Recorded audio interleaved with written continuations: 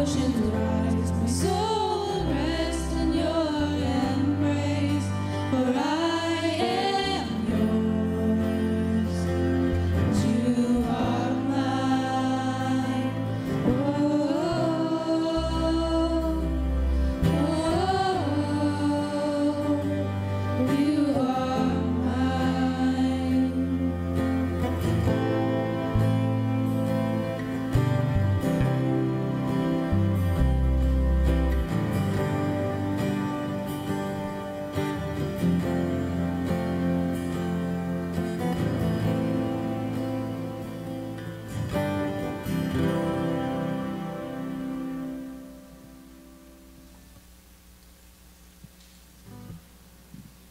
We're going to do kind of a special song actually here this morning. This is a song that Lily and Malin wrote. And so the words are not going to be up there. You'll just have to pay close attention as we sing. But I wanted to do this because it kind of goes along with the message today as well. So thank you, Lily and Malin, and everybody else that's helping to lead it.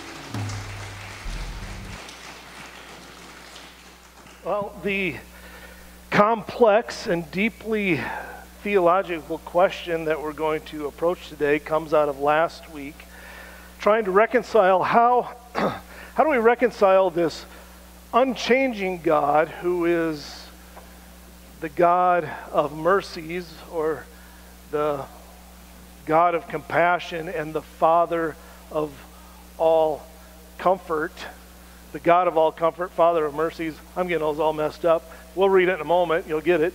It's all true.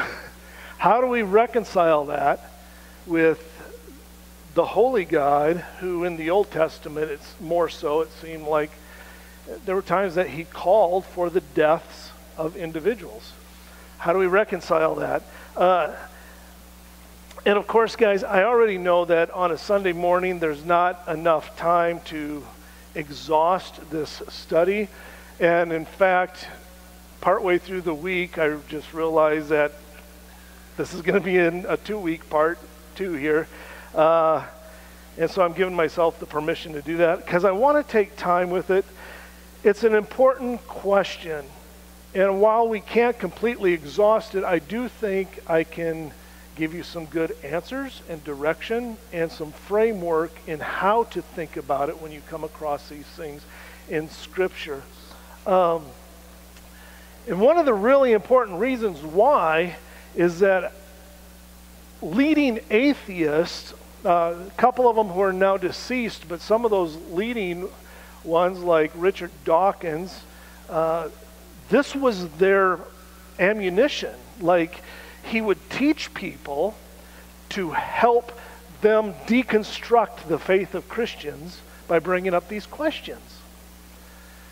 Just pointing out and saying that God is this masochist, that God is this abusive uh, maniac.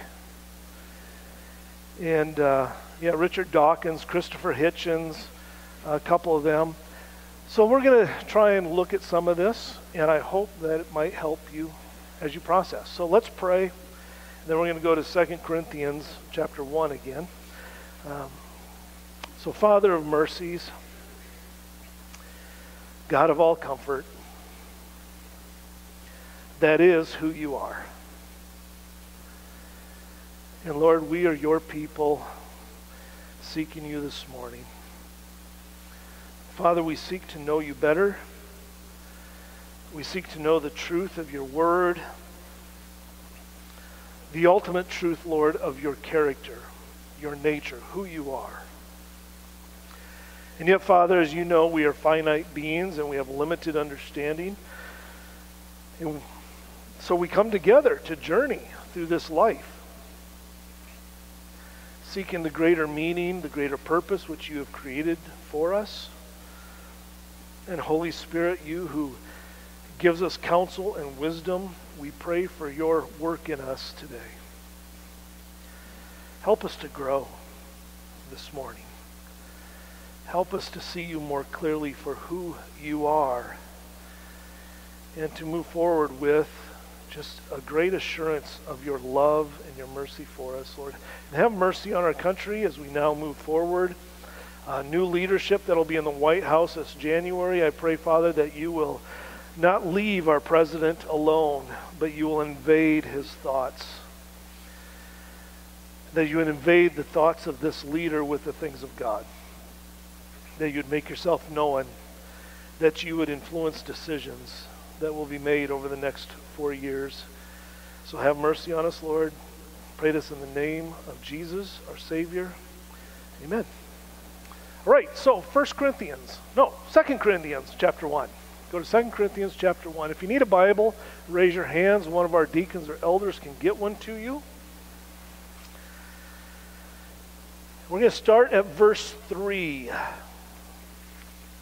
Praise the God and Father of our Lord Jesus Christ, the Father of mercies, the God of all comfort he comforts us in all our afflictions so that we may be able to comfort those who are in any kind of affliction through the comfort we ourselves receive from God.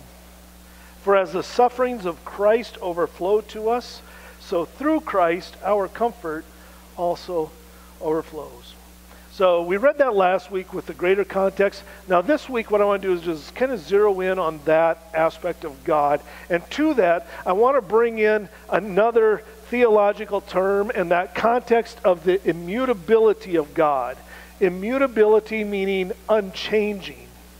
God does not change. So we're going to look at some scriptures here. Uh, go to the next slide there. Malachi 3 6. Because I, Yahweh, have not changed, you descendants of Jacob have not been destroyed. Then James 1:17. Every generous act, every perfect gift is from above, coming down from the Father of lights. With him there is no variation. In other words, he doesn't change or shadow cast by turning. Hebrews 13:8. Jesus Christ is the same yesterday, today, and forever. Hebrews chapter 6, 17 through 20, because God wanted to show his unchangeable purpose even more clearly to the heirs of the promise, he had guaranteed it with an oath. So that through two unchangeable things in which it is impossible for God to lie, we who have fled for refuge might have strong encouragement to seize the hope set before us. We have this hope as an anchor for our lives, safe and secure. It enters the inner sanctuary behind the curtain. Jesus has entered there on our behalf as a forerunner because he has become a high priest forever in the order of Melchizedek. Now, there's other verses, but this is going to be sufficient for today. God is unchangeable, and he is the Father of mercies, the God of all comfort. He always has been, and he always will be. It's who he is. We need to understand things like this as being the character and nature of God, which is unchangeable. He doesn't show compassion just because he feels like it some days. He shows compassionate, compassion because he is compassionate. It's who he is. God is love. So, how do we reconcile that in regard to some things that God acted upon in the Old Testament? When for us, we might read those stories and think, well, that doesn't sound like a very compassionate God. We need to hang to these truths of his nature and character. And so, whatever we read, to read it through the lens of knowing his character and nature. God is a God of compassion, he is a God of mercy, he's a God of love. So I would suppose that we might want to begin by having some clear understanding as to what mercy and compassion are. So let's look at compassion first. This is the uh, this is the dictionary uh, definitions. It is compassion, sympathetic pity and concern for the sufferings or misfortunes of others, and then mercy, compassion or forgiveness shown towards someone whom it is within one's power to punish or harm. So you put those ideas together mercy, compassion that gives us the idea of what is being said here. And also that God does not just have compassion, but He is compassionate. He doesn't just feel it, He acts upon it. He doesn't just have mercy, He is merciful. He acts upon the mercy.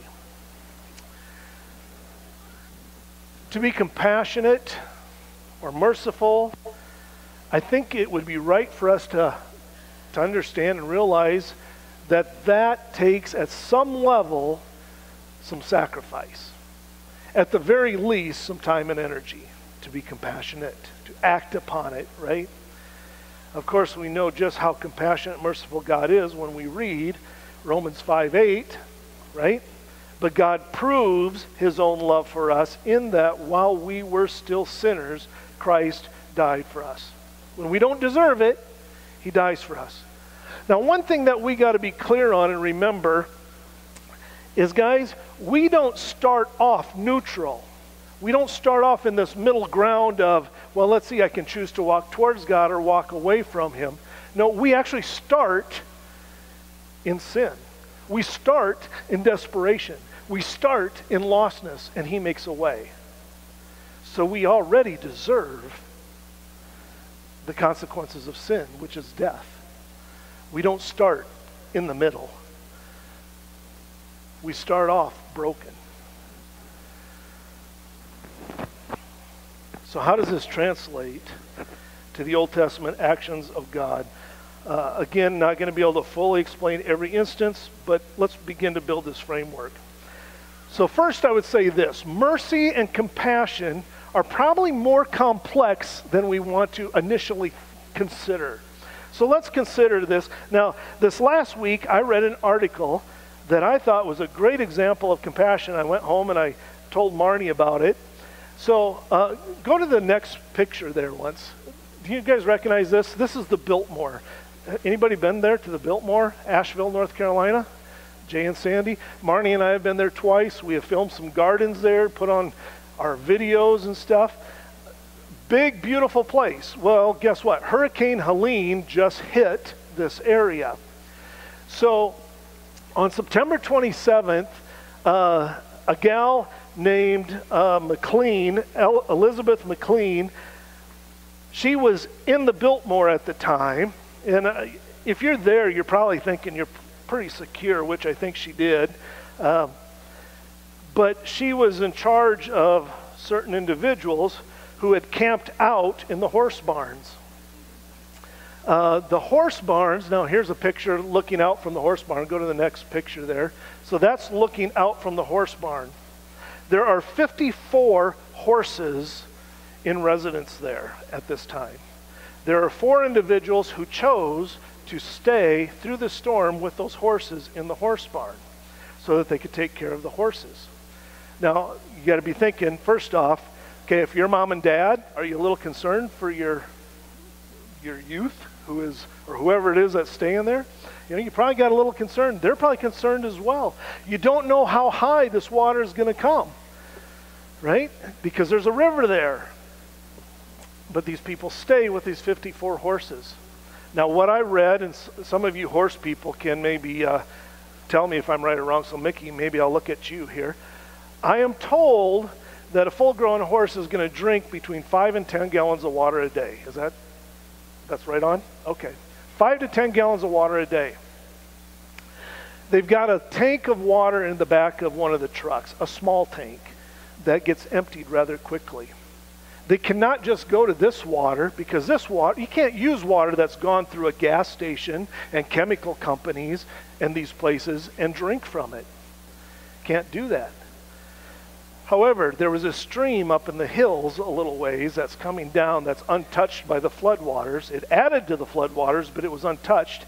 And so these four people begin to carry buckets to go fill it up. Do you know how much one gallon is, is about eight pounds? Okay. So five gallon buckets. All right. 54 horses drinking five to 10 gallons a horse per day how much work that would take to continue going. So Elizabeth McLean, she was at the Biltmore, and her goal was to get the road open as soon as she could to help get help into them. And there were 60 trees that were laying across the road that she had to cut through and move to get down to them with the truck. So I mean, you think about, I think about that. I'm like, that's a lot of compassion. They had a lot of compassion for these horses. If they didn't care about the horses, they'd say, forget it, I'm going to go home, we'll let the horses die. Right? Compassion. All right, let's consider some other stories here. Now, as I move on from here, guys, I just want to make one thing very, very clear. I am not equating people and horses, okay? That's not what I'm doing. So don't put that in your mind. What I'm trying to do is help you understand the complexity of compassion and mercy. So a horse is sick in the barn, laying down on the ground, and someone who owns this horse stays with the horse, maybe even sleeps with the horse, and gives medicine as needed, calls in a vet, cares for the horse, and perhaps the horse gets better. That's, a possibility. I've also been a kid who grew up in the 1970s, and some of you younger ones because Darren and I just did have a birthday and we can eat, at Perkins cheaper now. Um, but for us, we grew up at a time that there were a lot of westerns on TV. Like that was the big thing. Lots of westerns on TV. And I watched a lot of westerns as I was growing up. And if you have ever watched a western, and, and, and, and I still watch them once in a while, but one thing that eventually you're going to come across is you have some cowboy on his horse riding through uh, a rocky, desertous, uh, hilly type of place, and the rattlesnake is all of a sudden seen, and it spooks the horse. The horse rears up, loses its traction, slips, falls, breaks its leg, and with a lot of pain and agony in this cowboy's face, he pulls his gun out and he shoots the horse. Does he shoot the horse because he's a mean guy? He shoots the horse, and it's a lot of pain to him because he cares. My point there compassion and mercy are more complex than we sometimes want to just initially think, right? I hope you're all following that with me.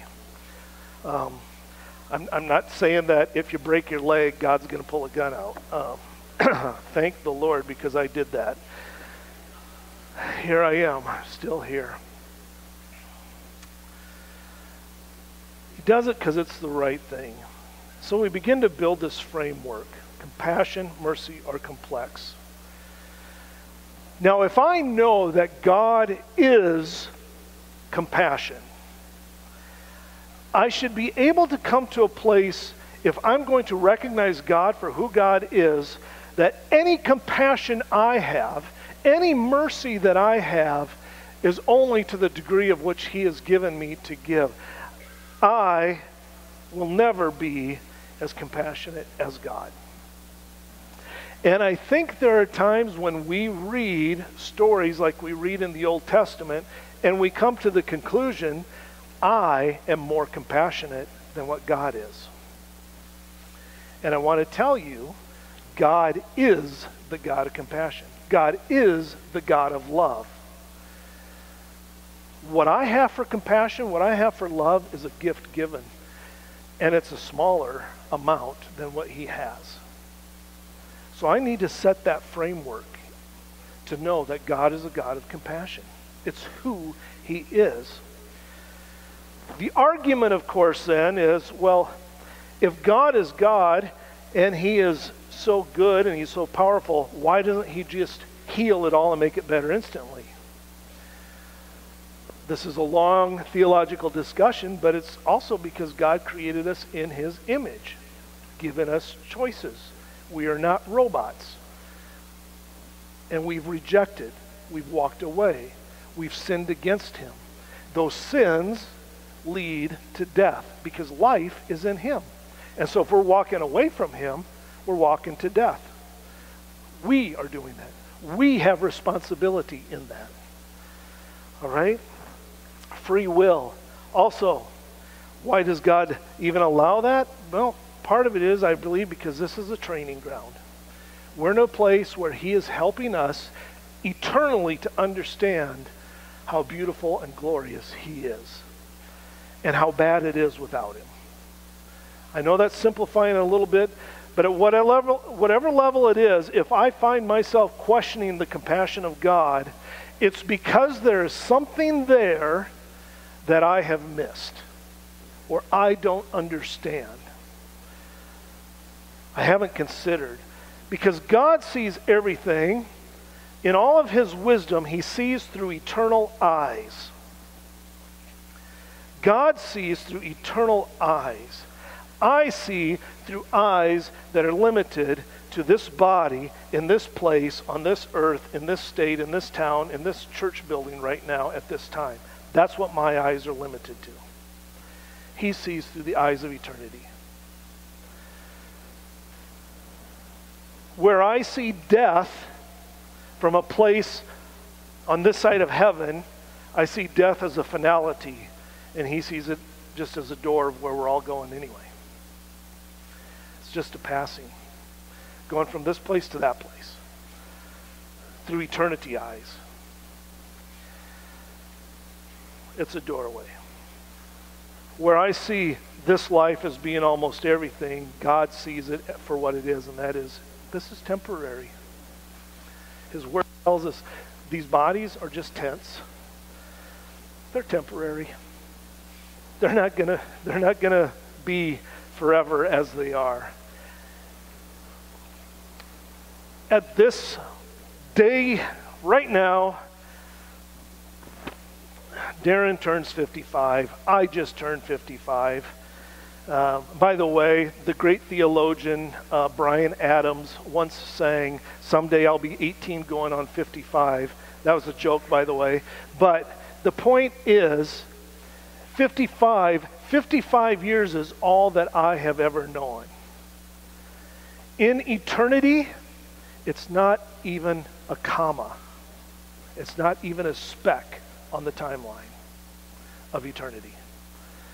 This is virtually almost barely anything in eternity. God sees through eternal eyes. God is operating on a much higher plane than I am. The next slide, Isaiah 55. Oh, speaking of 55, Isaiah 55. You'll never forget this again until next year, Darren, when you're 56, and then you're like, I think it's in Isaiah 56. Isaiah 55, 8 to 9. For my thoughts are not your thoughts, your ways are not my ways. This is the Lord's declaration. For as heaven is higher than earth, so my ways are higher than your ways, my thoughts than your thoughts. It's important to understand this aspect of God. He is greater. I can't just put God in my pocket and have him all figured out. He doesn't calculate on my calculator or my computer. He's above.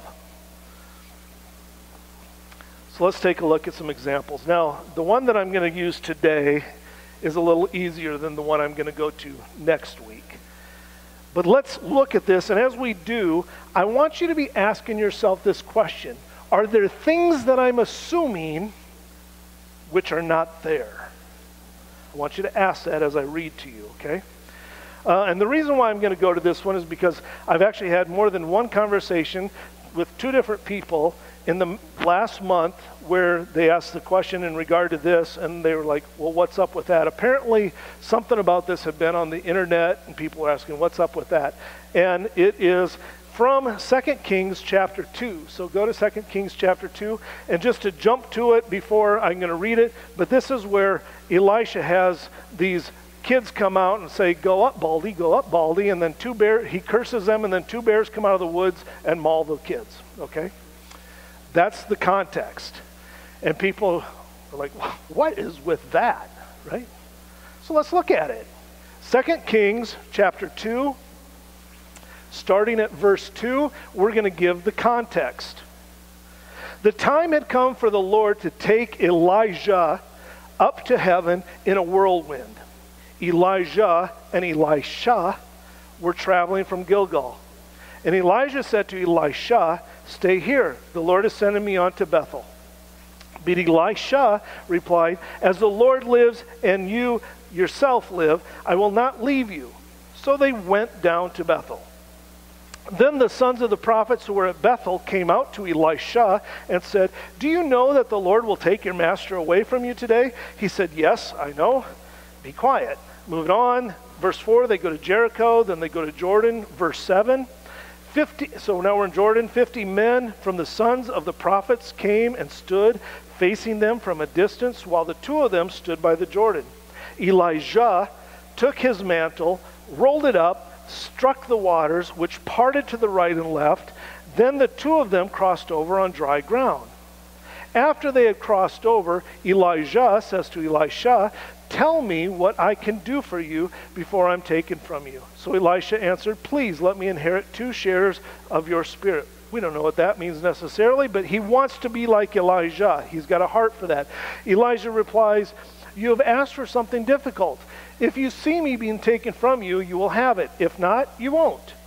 As they continued walking and talking, a chariot of fire with horses of fire suddenly appeared and separated the two of them. Then Elijah went up into heaven in a whirlwind. Verse 13, drop down there. Elisha picked up the mantle that had fallen off Elijah and went back and stood on the bank of the Jordan. Then he took the mantle Elijah had dropped and struck the waters. Where is the Lord God of Elijah? He asked. He struck the waters himself. They parted right and left, and Elisha crossed over. When the sons of the prophets from Jericho who were facing him saw him, they said, The spirit of Elijah rests on Elijah. The context that you need to understand is that Elijah was the chosen prophet of God. He was the one speaking, he was God's voice. That has now moved from Elijah to Elisha.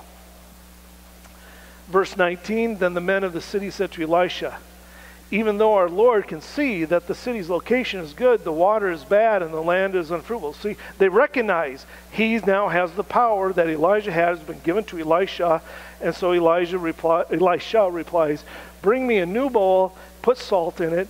After they had brought him one, Elisha went out to the spring of water, threw salt in it, and said, This is what the Lord says I have healed this water. No longer will death or unfruitfulness result from it. Therefore, the water remains healthy to this very day, according to the word that Elisha spoke. Now we move on. Verse 23. From there, Elisha went up to Bethel. As he was walking up the path, some small boys came out of the city, harassed him, chanting, Go up, Baldy, go up, Baldy. He turned around, looked at them, and cursed them in the name of the Lord. Then two female bears came out of the woods and mauled 42 of the children. From there, Elisha went to Mount Carmel, and then he returned to Samaria. So you might be asking, what is with that? you don't know what you don't know, do you? We don't. We don't know what we don't know. But we do jump to some, some conclusions. So we should be asking, what are we missing?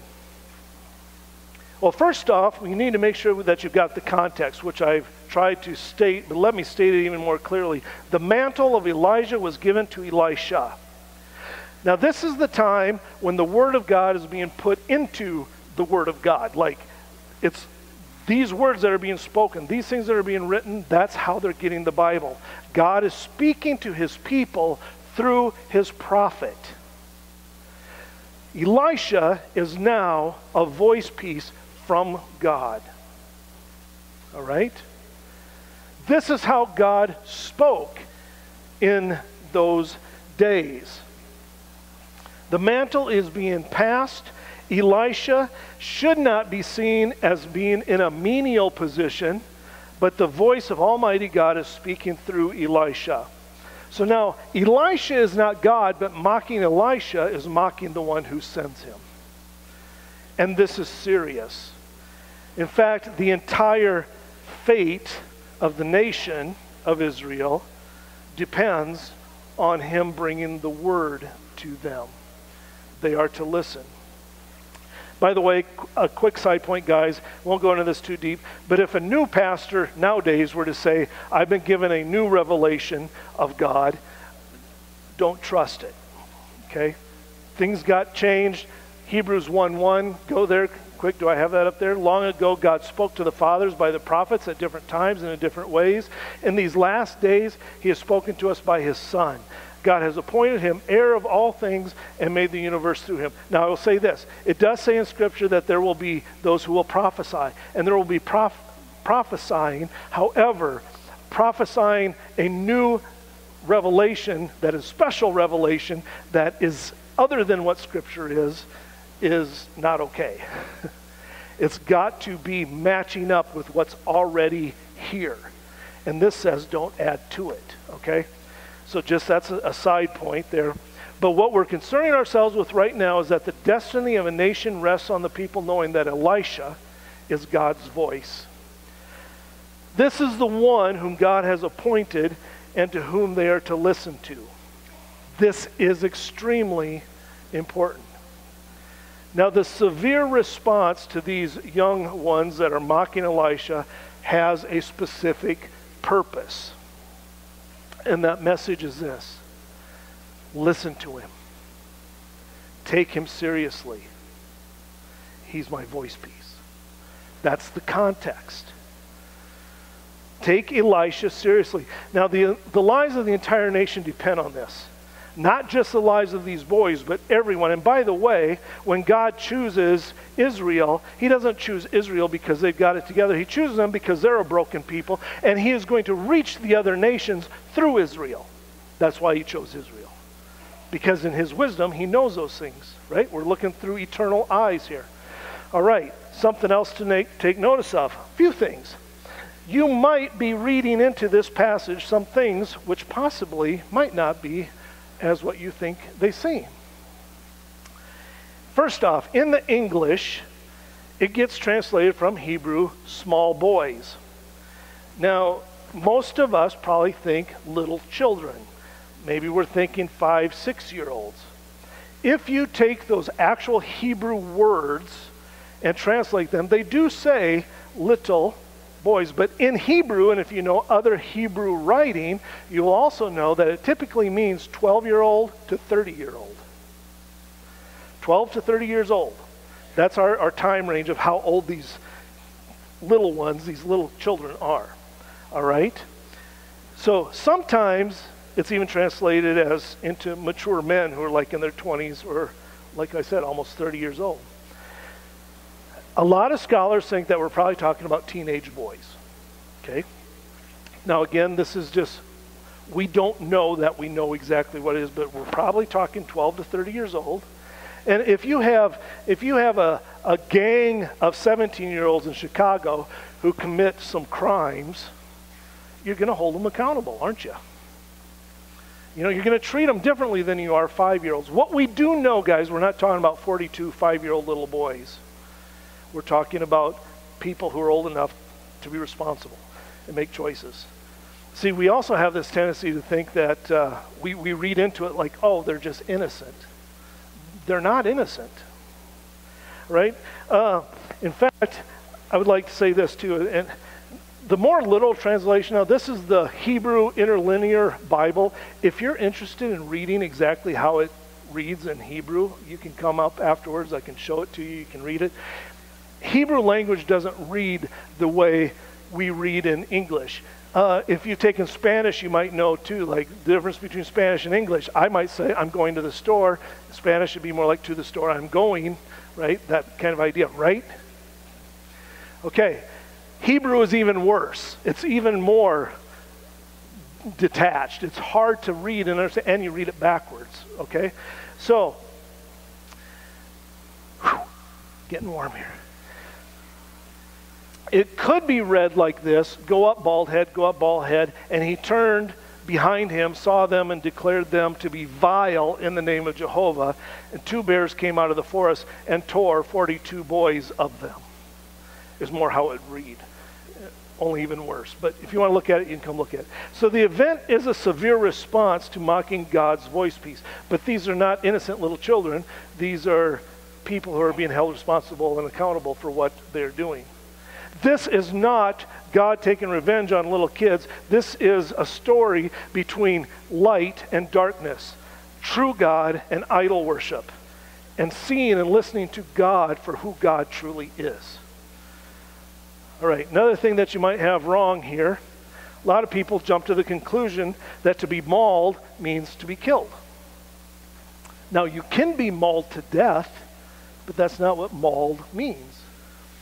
And it doesn't say that. Mauled means to injure, to attack, uh, to, to possibly wound. Now, it's true, some, somebody could have been mauled to death. It doesn't say it. We don't know it. Could have happened. But it's also possible that these bears came out, injured some of them, maybe even left scars for them to remember, and chased them off to help them realize and recognize you don't mess around with the voice piece of God. So if you jump to thinking, oh, came out and killed 42 little kids, you're probably wrong. Okay? What don't you know that you don't know? And it does help to go to the Hebrew and the Greek when you're studying some of these things. The point that I'm trying to make is that we ought to have the humility to admit when we know that there are things that we just don't know. But are we going to trust what the Bible says about what God says in regard to his character and nature. He is a God of love. He's a God of compassion. Now, I would say this if the Father of mercies did send those bears, because by the way, you'll notice, now it is implied in there, but it doesn't say it. It does not say that God sent those bears. It says that he said, a curse and there's vile. Now it's implied, but it doesn't say God caused bears to kill kids, if that's what you're reading. It says that he said, You are vile in the Lord, and two bears came out of the woods and mauled. Okay? That's what it says. Just have the humility to not rewrite falsely what is being taught, taught or told in the Bible. Okay? So if you're wondering what's up with this Baldy story, I hope that might give you just a little bit of insight. But if the Father of mercies, so this is where I land. If the Father of mercies, the God of comfort, did send those bears, he obviously he's sovereign, so he allowed it. But if he sent those bears, I believe that it would be because he was being merciful. Like this is what had to happen in order for them to take seriously the Word of God and to change because there's an eternal thing at stake, not just a temporary. So God's getting their attention in that situation. You know, if, if you have an infected cyst and you go to the doctor, the doctor lacerates it and that hurts and he takes it out. It's not comfortable. God, who is all wise and all good and all loving, might he lacerate what is needed to fix what has to be fixed eternally? Because he knows? See, I think so. So, do I trust the Lord in this? Next week, we're going to consider another scenario that might seem even more difficult to reconcile. Worship team, come back up, by the way. Um, th- we're going to look at next week at where Israel is commanded to kill the Canaanites women, children, even donkeys. Um, but as we go into that, we're going to look at more of the character and nature of God, both New Testament, Old Testament, like Ezekiel 33:11. God says, "Tell them this." So this is Old Testament. Old Testament, Ezekiel, God says, "As I live, the declaration of the Lord God, I take no pleasure in the death of the wicked, but rather that the wicked person should turn away from his way and live." And then we will also see that, in fact, he gave the Canaanites 400 years to repent, and they didn't. And so we look at these things and we try to get a better understanding of it all. Father God, I pray that you would continue to help us grow in this, to understand these really difficult uh, passages that we can really just struggle through. And Lord, I pray that we would see you for who you are, truly the God of all compassion, God of all comfort, a Father of mercies, God who is love, so much so that while we were yet sinners, to make this right, you took the pain upon yourself. Help us to see you, to behold you for who you are. In your name, amen stand together, sing.